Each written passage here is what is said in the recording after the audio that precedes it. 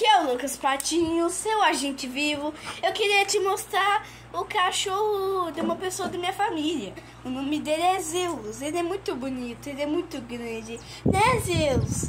É, neném! Ai, que fofinha a altura dele. Ele é muito grande, gente. E essa aqui é a minha mãe. Essa aqui é a minha irmã.